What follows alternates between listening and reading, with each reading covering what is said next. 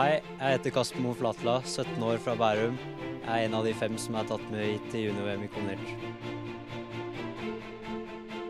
Det største jeg har oppnådd til nå i karrieren, er å bli tatt med hit til junior-VM. Mitt forbilde er Jarl Riiber, fordi han er såpass dedikert og rå i hoppbakken, og langrennet kommer til tross for sin unge alder. Min heiagjeng er familie og venner, og de støtter meg uansett om det går eh, bra eller dårlig, og jeg får motivasjon pga. det. Mitt mål for fremtiden er å bli verdens beste kombinertløper og prege de konkurransene jeg deltar i.